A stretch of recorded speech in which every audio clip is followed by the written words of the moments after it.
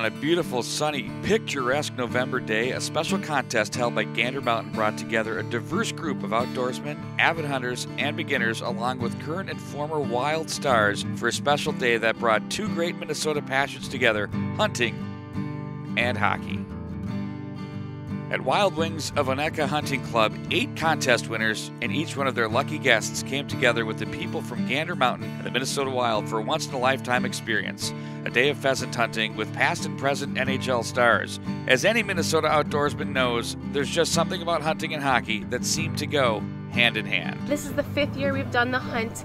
We just wanted to find a way to not only connect with wild fans, but connect with outdoorsmen. I'm, I'm excited to meet the players. I'm excited to uh, get out and hunt with different guys that I've never hunted with before. I grew up playing, you know, your typical pond hockey, everything like that down at the local rink. We find that there is a strong tie between hockey fans and hockey fans who love the outdoors. Yeah, you know, I've played in uh, you know a lot of different cities and you know, different organizations. And, you know, you definitely see the passion for hunting in the state of Minnesota. We like to say these are two of Minnesota's great passions, especially in the fall and winter, is hockey and hunting. I mean, they just seem to go hand in hand.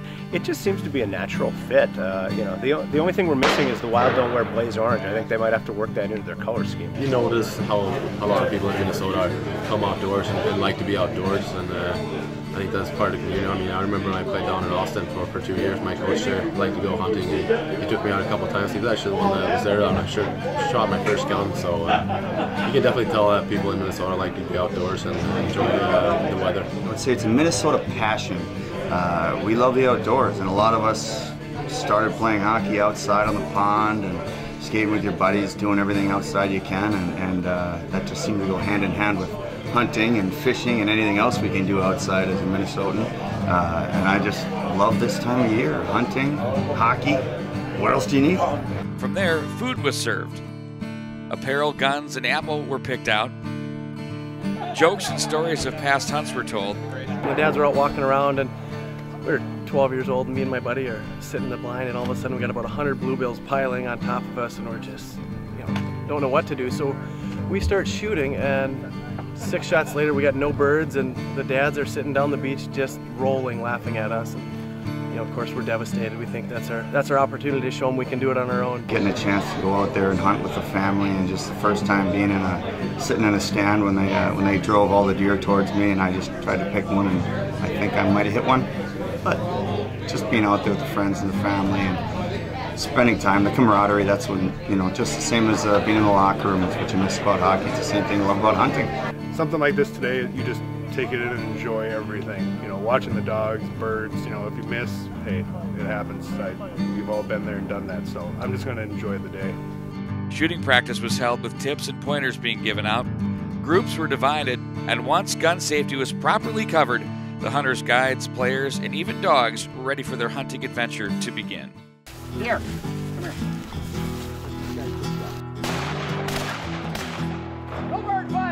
bud!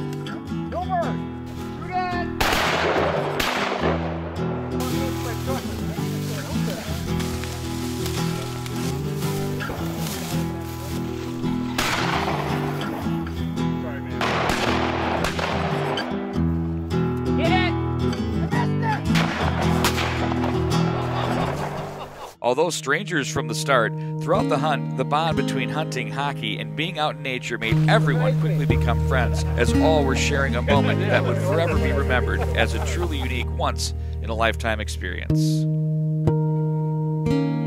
It was a special day had by all, and just another example of how the passion for Minnesota sports and outdoorsmanship runs as deep as our 10,000 lakes. We find that it is one of the favorite things uh, that the players do. We've had Keith Ballard now, I think, for three out of the five years. He keeps coming back every year. He absolutely loves it.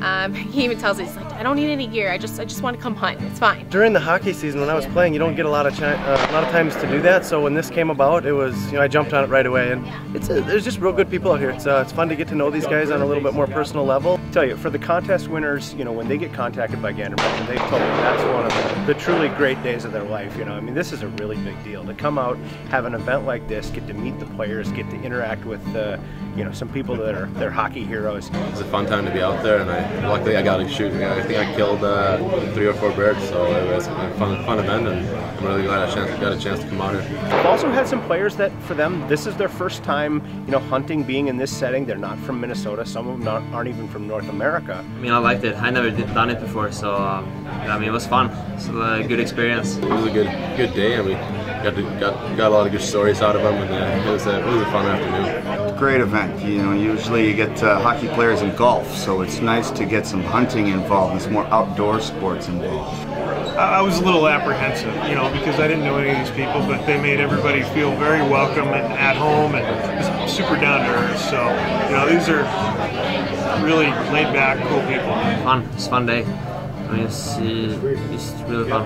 Yeah, well, absolutely, for sure. I'll be it was something I'll do in the future. Uh, I think I would do it one more time if uh, we get a chance. It was, a, I mean, it was a lot of fun. I've never done it before, so but I, I would definitely do it again.